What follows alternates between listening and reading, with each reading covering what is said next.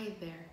In half a minute, I will be sharing with you each time a theme related to pop up stores or pop up retailing.